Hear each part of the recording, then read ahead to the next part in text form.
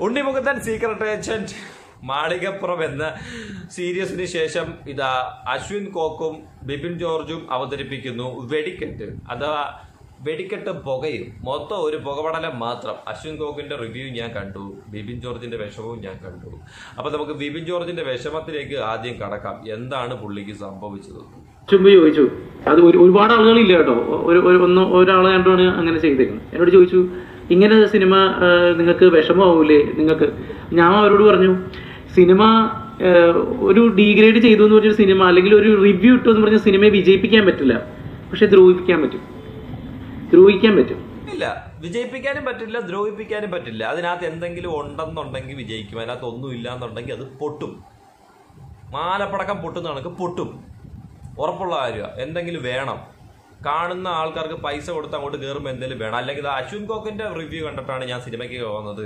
അല്ലെങ്കിൽ ദാണ്ട ഉണ്ണി വ്ളോഗ്സിന്റെ റിവ്യൂ കണ്ടിട്ട് അല്ലെങ്കിൽ മൺസൂണിന്റെ റിവ്യൂ കണ്ടിട്ടാണ് ഞാൻ സിനിമയ്ക്ക് പോകുന്നതെന്നും ആരും പറയത്തില്ല. അങ്ങനെയൊക്കെ അങ്ങനെയൊക്കെ ഓരോരുത്തന്മാരുടെ റിവ്യൂ കണ്ടിട്ടേ പടം കാണത്തോളം തീരുമാനിക്കുകയാണെന്നുണ്ടല്ലോ നീ നീയൊക്കെ വെറും മണ്ടന്മാരാ. വെറും മണ്ടന്മാര് നീയൊക്കെ പൊട്ടന്മാരോ. ജീവിതത്തിൽ സ്വന്തമായിട്ട് ഒരു കാര്യം സ്വന്തം പ്രയത്നത്തിൽ ഒരു കാര്യം പോലും ചെയ്യാൻ പറ്റാത്ത വെറും വാണ ശിരോമണികളായിരിക്കും അങ്ങനെ എനിക്ക് പറയാനുള്ളത് അങ്ങനൊന്നും ആരും ഇല്ല. അങ്ങനൊന്നും ആരും ഇല്ല. സ്വന്തമായിട്ട് കഴിവും സ്വന്തമായിട്ട് ആറ്റിറ്റ്യൂഡും സ്വന്തമായിട്ട് സമൂഹത്തിലൊരു വില കിട്ടണമെന്ന് ആഗ്രഹിക്കുന്നവരാണ് എല്ലാവരും. അല്ലോന്റെ റിവ്യൂ കണ്ടിട്ട് പടത്തിന് പോകാതിരിക്കേണ്ട കാര്യമൊന്നുമില്ല. ഇവിടെ പടത്തിന് പോകാതിരിക്കാൻ ഇരിക്കാന്നെങ്കിൽ ഒരു കാര്യമേ ഉള്ളൂ. ഒന്നെങ്കിൽ ഇഷ്ടമല്ലാത്ത ഏതെങ്കിലും ഒരു സിനിമാ നടന്റെ സിനിമയായിരിക്കും. രണ്ട് പൈസ ഇല്ലാതെ ആയിരിക്കും ആ ദ്രോഹം ചിലപ്പോൾ വന്നിട്ടുണ്ടാവാം. പക്ഷേ എന്തൊക്കെ രീതിയിൽ വന്നാലും നിങ്ങൾ ഫ്രണ്ടിലിരിക്കുന്ന അല്ലെങ്കിൽ നമ്മുടെ സിനിമ കാണുന്ന സാധാരണക്കാരാണ് എന്നും സിനിമയെ ഇവിടെ വിജയിപ്പിച്ചിരിക്കുന്നത്. ഈ സിനിമ വിജയിക്കേണ്ടത് ഞങ്ങളുടെ മാത്രം ആവശ്യമല്ല ഇവിടെയുള്ള ഓരോ സാധാരണക്കാരന്റെയും കൂടി ആവശ്യമാണ്. കാരണം അതിൽ പറഞ്ഞൊരു വാക്ക് അതിൽ കമന്റ് വന്ന ഒരു ഓക്കെ ഒരു സിനിമ വിജയിപ്പിക്കുന്നതിനകത്ത് അതിനകത്ത് മെജോറിറ്റി പങ്കുവഹിക്കുന്നതും സാധാരണക്കാർ തന്നെയാണ്. ഈ പറയുന്ന പണക്കാരോ അല്ലെങ്കിൽ പണമുള്ള ആൾക്കാരോ അല്ലെങ്കിൽ സമൂഹത്തിലെ പൗരപ്രമുഖന്മാരോ ഒന്നുമല്ല സിനിമകൾ വിജയി വിജയിപ്പിക്കുന്നത്. പൗരപ്രമുഖന്മാരുടെ ജോലി എന്ന് വെച്ചാൽ സിനിമ എടുക്കുക. മിഡിൽ ക്ലാസ്സും അതിൽ താഴെക്കിടയിലുള്ള ആൾക്കാരെന്ന് വെച്ചാൽ ഈ സിനിമ കാണുക. അതിലും താഴെക്കിടയിൽ കിടക്കുന്ന ആൾക്കാർ എന്ത് ചെയ്യണം? ഇതിലുള്ള നായകന്മാരുടെ പടങ്ങളൊക്കെ എടുത്തു വെച്ച് പാലൊഴിക്കുക മാലയിടുക വീട്ടിലെടുത്ത് വെച്ച് വിളക്ക് കത്തിക്കുക. അതൊരു നാട്ടു നടപ്പ് അതങ്ങനെ തന്നെ പോകണം.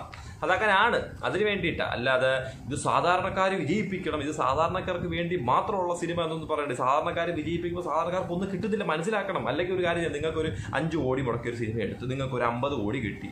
അതിനകത്തുനിന്ന് ഒരു പന്ത്രണ്ട് കോടി അല്ലെങ്കിൽ ഒരു പോട്ടെ ഇരുപത് കോടി എടുത്തിട്ട് എല്ലാ വീട്ടിലും വെച്ചാൽ കൊടുക്കുക ഇരുപത് കോടി മൂവാ മൂന്ന് മൂന്നര കോടി ജനങ്ങളുണ്ട്. നിങ്ങൾ ഇരുപത് കോടി ഡിവൈഡ് ചെയ്തിട്ട് എത്ര രൂപ വെച്ചുണ്ട് എത്ര രൂപ വെച്ച് എല്ലാ വീട്ടിലും കൊടുക്കുക അപ്പൊ അങ്ങനെയാണെങ്കിൽ സാധാരണക്കാരെ വിജയിപ്പിക്കുന്നതിന് ഉത്തരവാദിത്വം ഉണ്ടെന്ന്. ഇതിപ്പോ നമ്മുടെ കൈ പോകലിരിക്കുന്ന പൈസ എടുത്ത് കൊടുക്കുകയും വേണം. പൈസ എടുത്ത് കൊടുക്കുമ്പോഴത്തേക്കിന് അതിനകത്ത് എന്തെങ്കിലും ഒന്നും ഇല്ലാന്നുണ്ടെങ്കിൽ പടം പൊട്ടും.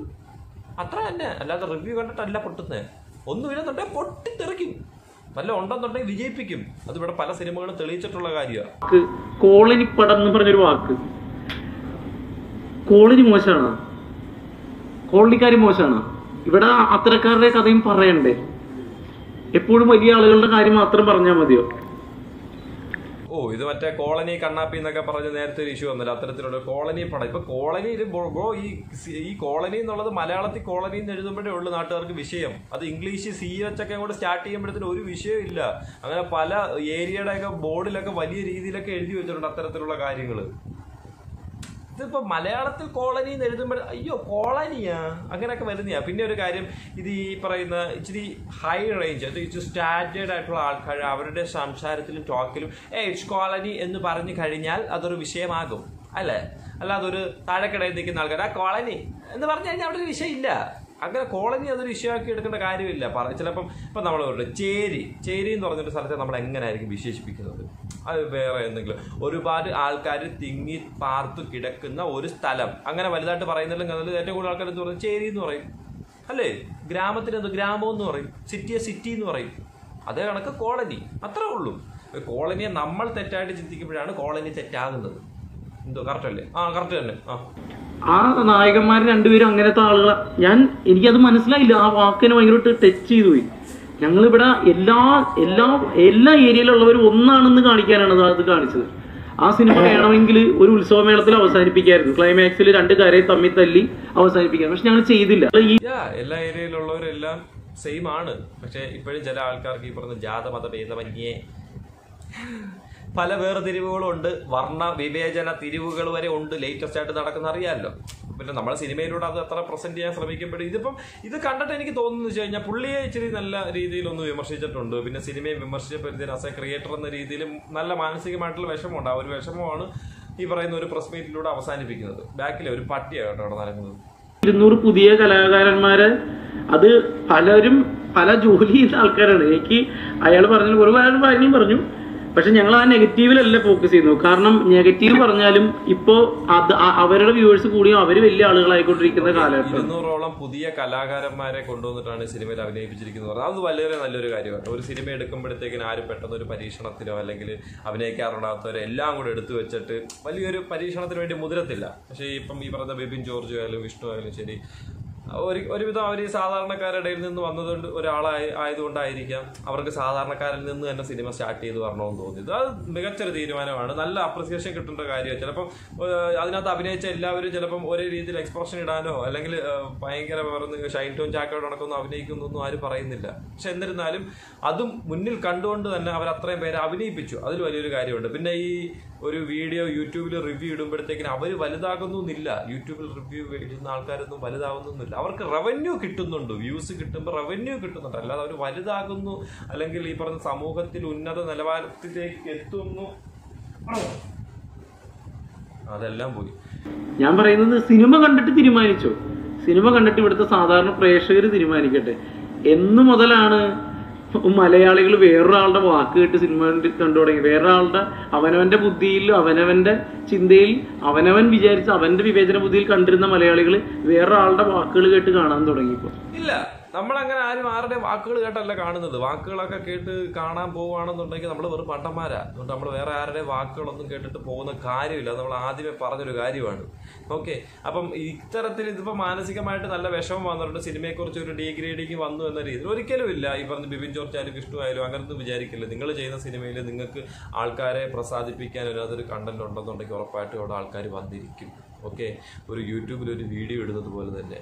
ആൾക്കാർക്ക് ഇഷ്ടപ്പെട്ട സാധനം ഉണ്ടെന്നുണ്ടെങ്കിൽ അതിപ്പം എവിടെ അങ്ങ് ഭരണിയെടുത്ത് മോളി വെച്ചാലും എത്തിയിരിക്കും.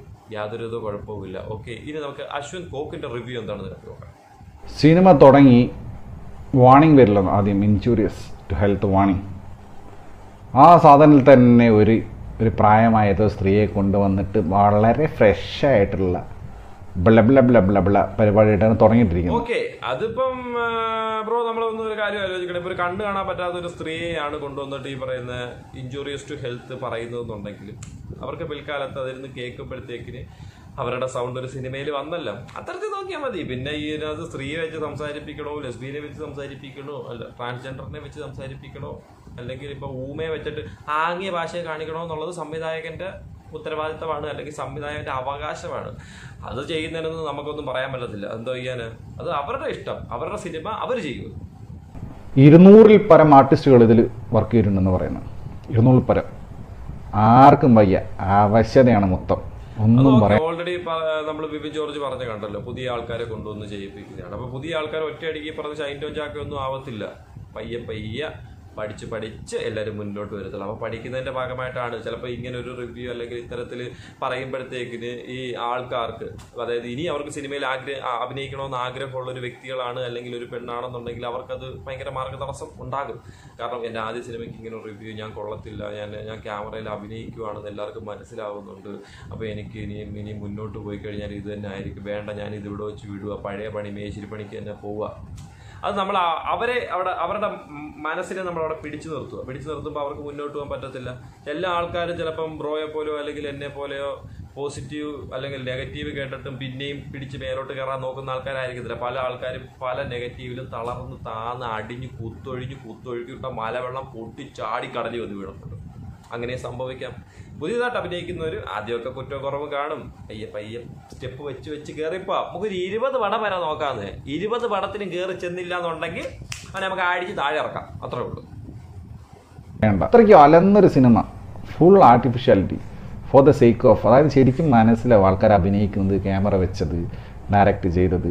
സിനിമയ്ക്കകത്തേക്ക് കയറാനേ പറ്റുന്നില്ല. അഭിനയിക്കാൻ വേണ്ടി അഭിനയിക്കൽ കാണിക്കാൻ വേണ്ടി കാണിക്കൽ പറയാൻ വേണ്ടി പറയൽ അങ്ങനെ ഓക്കെ അതിപ്പോ ഈ പറഞ്ഞ പുള്ളി പുതിയതായിട്ടുള്ള ആൾക്കാരായതുകൊണ്ടുള്ള ഓരോ മിസ്മാച്ച് ഒക്കെ പുള്ളി പറയുന്നുണ്ട്. അത് ഒരിക്കലും പുള്ളി പുള്ളിയുടേതായ വ്യക്തിപരമായ താല്പര്യമാണ് പറയുന്നത്. അതിനകത്തൊരു സിനിമയെ പുള്ളി അടച്ചാക്ഷേപിച്ച് പറയുന്നുണ്ടെങ്കിലും അത് പുള്ളിയുടെ മാത്രം ഒരു വ്യൂ പോയിന്റ് ഒരിക്കലും ഈ വ്യൂ പോയിന്റ് കണ്ടിട്ടല്ല എല്ലാവരും സിനിമയ്ക്ക് പോകുന്നത്. ഇവിടെ ഒരുപാട് റിവ്യൂ ചെയ്യുന്ന ആൾക്കാരുണ്ട്. അല്ലെ സിനിമയുടെ പോസ്റ്റർ നമ്മൾ മതിൽ കാണുന്നുണ്ട്. അല്ലെ സിനിമയുടെ ട്രെയിലർ നമ്മൾ ഫോണിൽ കാണുന്നുണ്ട്.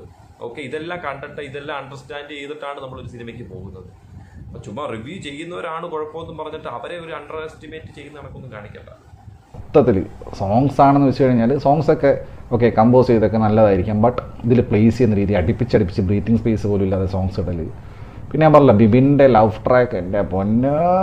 അതിനകത്ത് തന്നെ ആ നടി കൊള്ളാം കേട്ടോ അവർക്ക് അഭിനയിക്കാൻ അറിയാം.